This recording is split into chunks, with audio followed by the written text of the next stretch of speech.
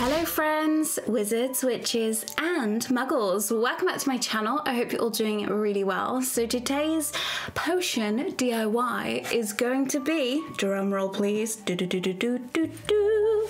We're going to be looking at Amortentia Love Potion and this is the one that I'm going to be making today with you guys step by step. So I will leave a list of everything that I used down below if you'd like to follow along with me. I think this is perhaps one of my favorite potions that I've made so far. Uh, yeah, so if you'd like to know how to make your very own love potion, then keep watching. If you're brand new to my channel, hello, welcome. Don't forget, you can click the subscribe button if you'd like to become part of our weird, magical online family. But let's go because there's a very potent potion that I need to make for you guys. Okay, let's get this love potion started. So the first thing that you're going to need is an appropriate glass potion bottle. Now, I've actually had this one for a couple of years now because I wanted to do this video a long time ago but never got round to it. You can get these online, eBay, Amazon, craft stores. It's just a glass corked bottle in the shape of a love heart and this is obviously perfect for a love potion. So that's going to be the first thing and the main thing that you're going to need.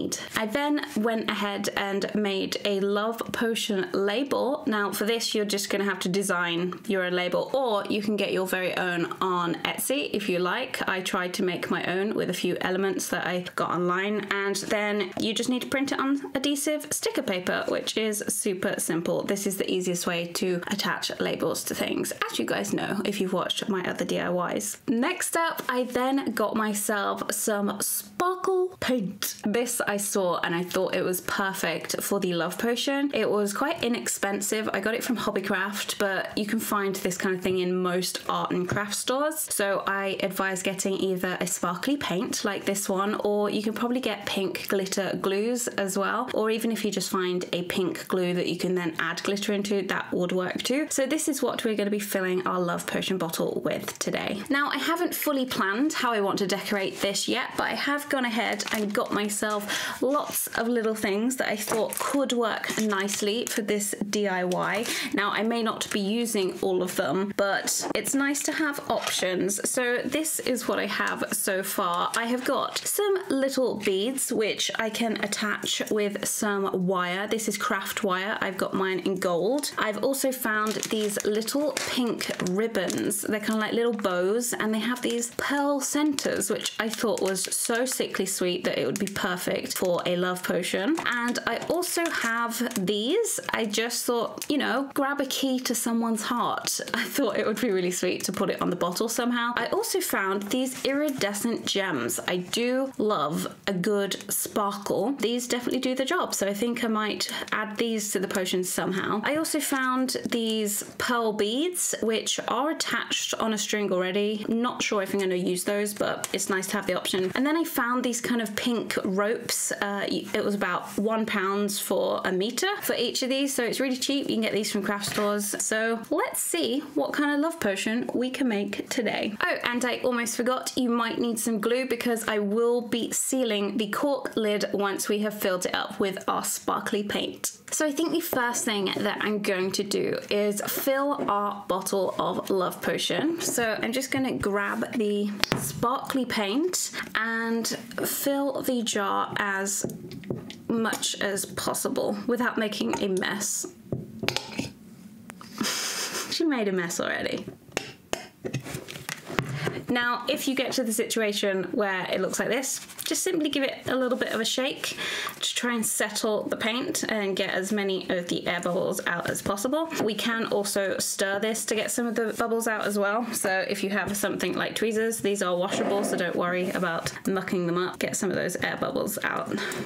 And then I'm going to go ahead and fill the rest of the bottle.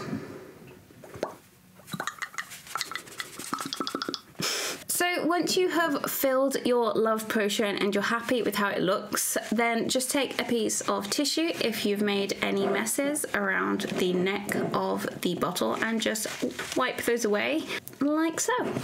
Now, a quick tip make sure that you don't overfill your glass jar because I definitely didn't need to just take some of this out because the cork does need room to fit inside. So, once you have enough of your potion in there, we're then going to get our glue. This is kind of all-purpose adhesive, super strong, fast and clean, universal power adhesive. Yes. So I'm going to get the glue. Of course it starts coming out. And then I'm going to gently put it around the base of the cork and then we're going to just pop it into our potion. Try not to get much of this onto your fingers like I am doing. It's probably best to hold it from the top right there. So we're just going to gently push our cork into our bottle.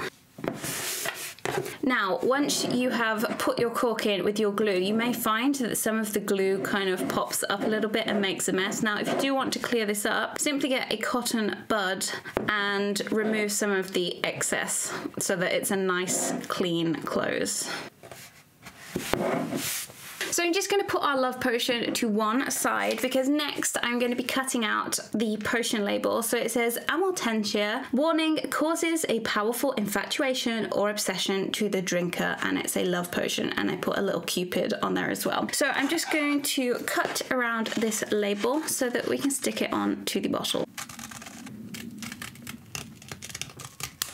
So here we have our little label. Now, some of you guys may know that once I've cut labels out, I really do not like the white line that it creates at the side. I feel as though it takes some of the magic away. So I'm just gonna grab a black Sharpie and quickly run along the edges.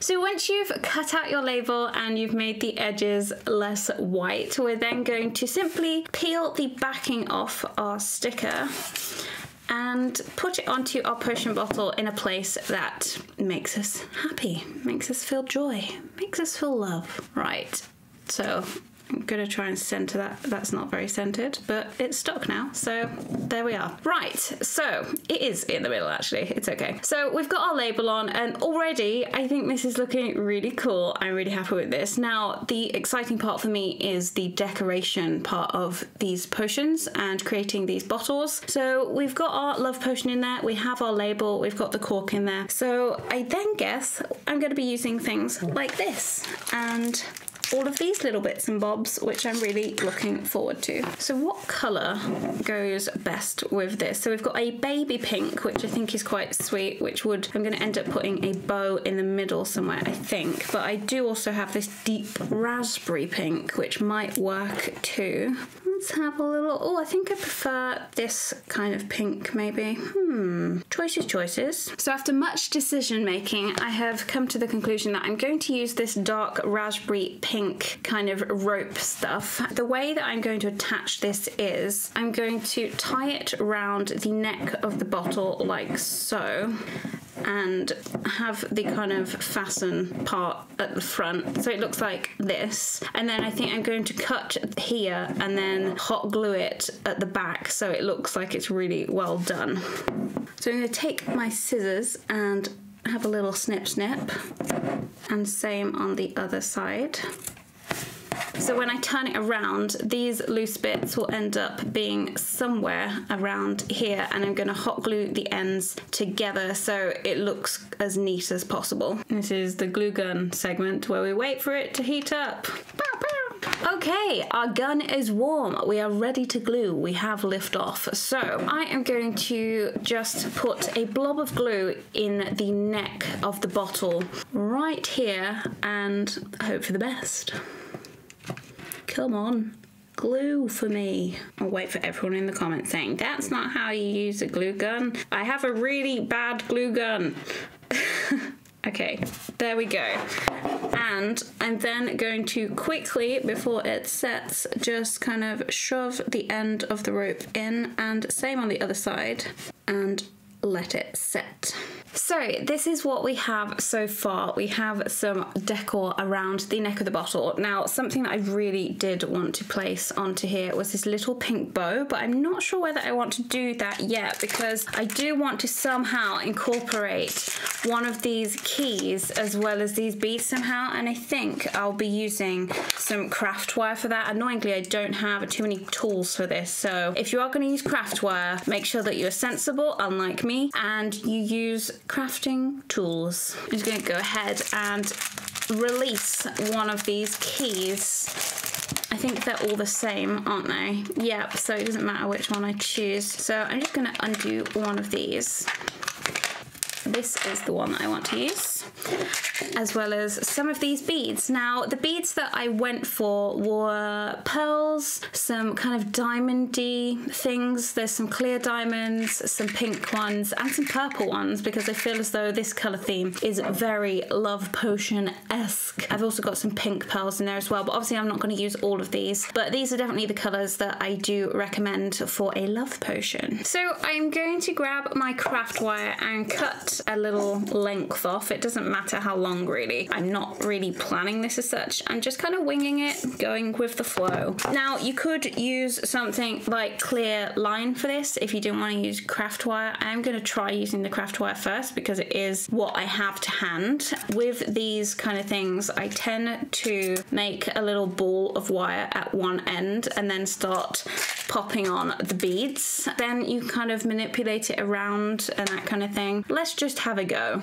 So I've just gone ahead and made a little shape at the end of the wire just to stop the beads from falling off it. There's no particular kind of skill to doing so. So I'm then gonna just make a little dangly thing out of beads. I know, technical term, but you can do these in any order you like, any colors you like. It's completely up to you, which I think is all part of the fun, really. Crafting some little beady boys.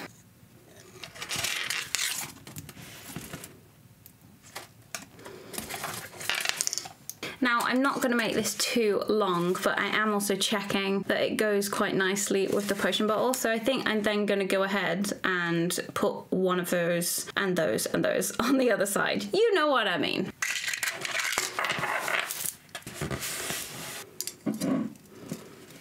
Okay, so once you have your beads on their wire, we're then going to be binding it kind of underneath here so it's not fully seen. So I'm gonna start around there and just bind it quite tightly as well because I don't want it flying off. And then once we get to this side, let's just tuck that under a little bit better, shall we? And then I am going to make sure those beads are out of the way and twist so that this locks it in place. Now, because our beads are on wire, they're quite easy to manipulate. So I'm probably gonna follow the shape of the bottle by bending these downwards a little bit like so. And just manipulate them to a position that you're happy with, basically. She's cute. Now the next task is to somehow attach this key. I think I'm going to use craft wire again because I don't really want to hot glue her anywhere. Now the best way that I can think of attaching this key, as it does have a loop up here, I'm going to take a length of craft wire and put the key down into the middle like so. Then we're going to want to start twisting the wire onto itself. This can be quite tricky, so just take your time with it. And then once you've done a few rotations, you can then take the key and kind of start twisting it, and it will make a nice twisty wire rope for you. Now, once you've got a little bit of length on your twisty rope wire, technical terms on this channel, I'm then going to use the rest of the wire as a kind of fastener around the neck of the bottle. And what's nice about this kind of length that we've created here with the twists is that we can then manipulate the shape and direction that the key goes. So I think I do want it the same side as the beads. So just attach your wire to the neck of the bottle. And if it's a little bit too long, which mine might be, just simply untwist it a little bit from the top until you're happy.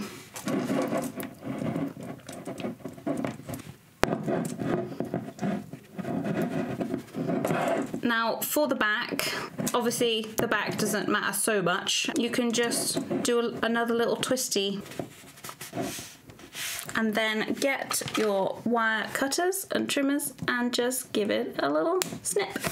Oh, that's cute. It's got a nice little swing. We like that. Now, as I mentioned earlier, I do have these very sweet little pink bows with these teeny tiny little pearls on there. So I thought this would be really cute to have there in the center of the bottle. So I'm gonna go get my handy glue gun yet again and stick the little thing on. So I'm gonna take my glue gun and glue some, a little dollop in the center right there and trying to be as neat as I possibly can and then quickly going in there with the bow and holding it down quite firmly so that it dries in the right place. I think the final touch that I want to give to this Amortentia Love Potion is to add some of these really sweet iridescent gems. Now these are adhesive gems so you can just peel them off like stickers and then add them wherever you want. You don't have to place them where I'm placing mine. You could put them on the base of the bottle or around the label. I think I'm going to put like one or two dotted around the label. I don't want it to be full kind of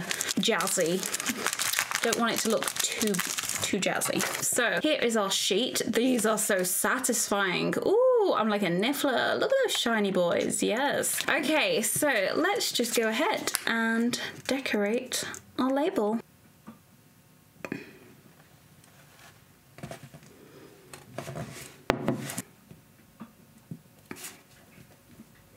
Think that's as many of the little sticky gems that I'm going to put on as I don't want to overdo it, but I think there's a nice balance of them on that label. I am so happy with how this looks. I don't think there's anything else that I would personally add to this. it's quite a bold looking potion bottle as it is, as it is the strongest and most potent love potion in the world. I would absolutely love your thoughts on this. Did you enjoy this DIY DIY. If you did, don't forget to give it a magical thumbs up and leave a comment down below in the comments what else you would like to see in this series. I think this is one of my favorites so far. It's very pink and very girly, which you don't often kind of associate with potions, I don't think. But anyway, thank you guys so much for watching. I really do hope that you enjoyed this video. I would love to hear your thoughts down below. I guess I will see you soon.